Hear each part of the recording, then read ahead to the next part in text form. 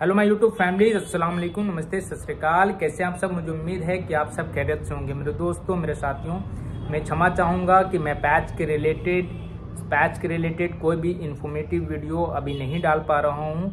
Actually ऐसा है कि आप लोगों की दुआओं की बदौलत एक बहुत ही बड़ी ब्रांच जो कोलकाता में हो रहा है हमारा, जो जनवरी में इंशाल्लाह ओपनिंग होने वाला है, जिसके कारण मैं काफ़ी बिज़ी होने के कारण कोई भी वीडियो नहीं कर पा रहा हूँ और आप तक कोई भी इन्फॉर्मेटिव वीडियो नहीं पहुँचा पा रहा हूँ, जिसके लिए मैं आप सभी व्यूवर्स से, सभी सब्सक्राइबर से क्षमा चाहता हूँ। लेकिन आज कुछ ऐसी बात मेरे सामने आया है, जिसे मैंने बहुत ही मुश्किल से टाइम निकाल कर मैंने चाहा कि आप लोगों के लिए वीडियो कर दूँ, ताकि आप लोगों के लिए ये बहुत ही फ़ायदेमंद हो जाए और आपका जो नुकसान होने वाला है, किसी का भी नुकसान होने वाला हो, वो नुकसान होने से बच जाए।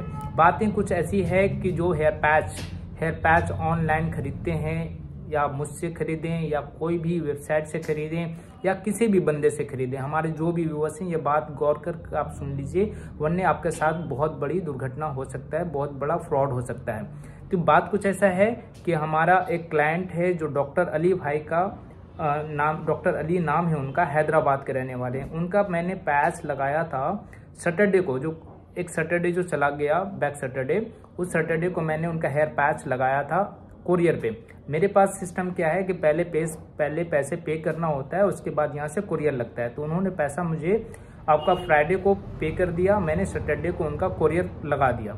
लगाने के बाद में क्या हुआ कि सैटरडे के बाद में ज़्यादा से ज़्यादा मंडे या ट्यूसडे उनको पैच मिल जाना चाहिए था। ये मैंने डी कंपनी में लगाया था पैच को कुरियर में। हुआ यूँ कि उन्हें ना मंडे मिला, ना ट्यूसडे मिला। उन्होंने मुझे ट्यूसडे को कॉल किया तो मैंने कहा, अली भाई, आप एक दिन और एक वेट कर लीजिए। शायद आपको वेडनेसडे को मिल जाए। तो वेडनेसडे को भी उनका पैच उनको नहीं मिलता है। तो उनके बाद में मेरे को थर्सडे को मेरे को कॉल करते हैं। थर्सडे को कॉल करने के बाद में उनसे बात होता है। बात के दरमियान में उन कहते कि, सैम भाई, अब तक मेरा पैच मुझे नहीं मिला है। मैं कहता हूँ कि रुक जाइए। मैंने जहाँ पे कोरियर लगाया है, शायद वहाँ से कोई इन्फॉर्मेशन मैं ले लेता हूँ। उसके बाद मैं आपको बताता हूँ। मैंने वहाँ पे कॉल किया। कॉलने के बाद में कॉल करने के बाद में मेरे कोरियर वाले कहते कि, समीम भाई, मैं आपको एक से डेढ़ घंटे में इन्फॉर्म करता हूँ। उनका कॉल रखना था कि फिर से अली भाई का मेरे पास कॉल आता है और वो बोलते मेरे को कि अली भाई शमीम भाई, मैंने डी की जो कंपनी है, उस कस्टमर केयर पे मैंने कॉल किया तो कहा कि पैच आया हुआ है आपका, एक से डेढ़ घंटे में आपका डिलीवर हो जाएगा। जैसे कि आज का फ्राइडे का दिन है तो आज का फ्राइडे का दिन में आपको एक डेढ़ घंटे में डिलीवर हो जाएगा पैच हैदराबाद में ही आई हुई है उनका कॉल रखना था, रखने के बाद में जैसा मेरे को अली भाई बताए, उनका डीएचएल कस्टमर कस्टमर केयर से बात होने के बाद में अचानक सा तुरंत भर में एक कॉल आता है उनके पास में। और उनसे कहा जाता है कि, सर, आपका जो है पार्सल आप तक के पहुँच जाएगा। आपको अगर कोई डिटेल्स चाहिए पैच के रिलेटेड तो मैं एक लिंक शेयर कर रहा हूँ आपको। आप उस लिंक पे क्लिक करेंगे और प्ले स्टोर से जाकर के एक ऐप्स को डाउनलोड करना है।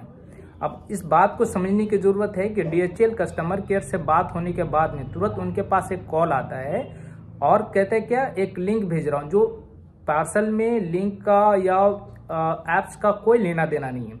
डीएचएल से बहुत सारा पार्सल जाता है हमारा, बहुत सारे लोगों का जाता होगा, या आप भी बहुत सारे पार्सल मंगाते होंगे तो लिंक का वहाँ पे कोई काम नहीं होता है कभी भी।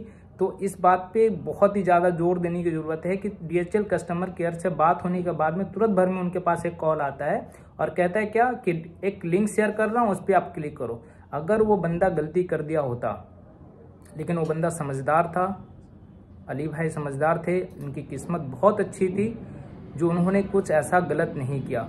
उन्होंने सडन फिर मुझे कॉल किया और मुझे इस सब बात पे बताया कि सैम भाई ऐसा ऐसा बात है। मैंने सडन उनसे पूछा कहीं आपने लिंक पे क्लिक नहीं किया आपने अली भाई? बोला, नहीं भाई, मैंने उसे बहुत झाड़ा, गाली ग्लॉस तक के भी किया, मेरे को पता था, लेकिन ये हादसे लोगों के साथ हो सकते हैं। तो आप समझ सकते हैं कि फ्रॉड किस लेवल का हमारे इस देश में बढ़ चुका है। इस जो फ्रॉड जो है, उससे बचने की बेहद ज़रूरत है।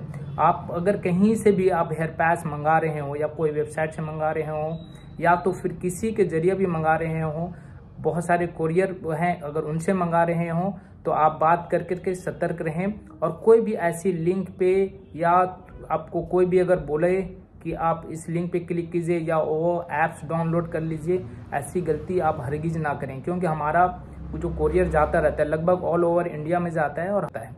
तो मैं चाहता हूँ कि हमारे जो भी व्यवस्थ इस वीडियो को देख रहे हैं, मैं चाहता हूँ कि इस वीडियो को ज़्यादा से ज़्यादा आप शेयर कर दें, ताकि ऐसी कोई भी किसी के साथ भी ऐसी दुर्घटना ना हो जाए जिनसे उनकी कमाई हुई पूंजी जो ज़िंदगी भर के हैं वन सेकेंड में ही लोग खाली कर लें। क्योंकि बहुत सारे हरामखोर लोग बैठे हुए हैं ऐसे, जिनका काम ही यही है। और ऐसा लोगों, मेरे को तो समझ में ये नहीं आता कि डीएचएल कंपनी का पास में उसकी पूरी डिटेल्स है, अली भाई का, और मेरे पास में है, और एक कुरियर उसके पास में। लेकिन अगले के पास कैसे चला जाता है?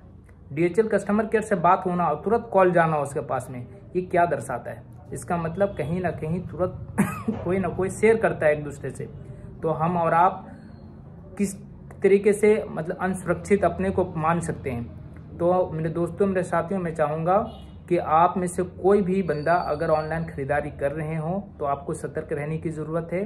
कोई भी पैच खरीदें या कोई भी ऐसी सामान खरीदें और अगर कोई भी अगर आपको कॉल करके कहता है, लिंक पे क्लिक करना या तो कोई ऐप्स डाउनलोड करना तो हरगिज ना करें। थैंक यू जय हिंद।